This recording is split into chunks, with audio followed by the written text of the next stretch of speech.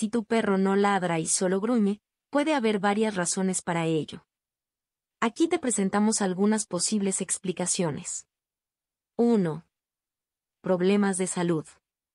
Si tu perro solía ladrar y ahora solo gruñe, es posible que esté experimentando algún tipo de problema de salud.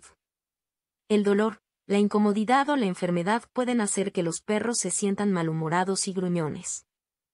Si sospechas que tu perro puede estar enfermo o incómodo, lo mejor es llevarlo al veterinario para que lo examine. 2. Falta de socialización.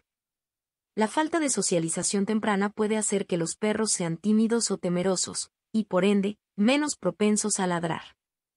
Si tu perro no se socializó adecuadamente cuando era cachorro, es posible que tenga dificultades para comunicarse de manera vocal con otros perros y con las personas. 3. Miedo o ansiedad.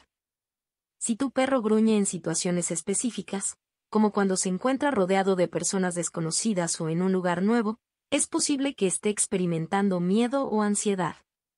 En estos casos, el gruñido puede ser una forma de comunicar su incomodidad o de establecer límites con los demás. 4. Comportamiento aprendido.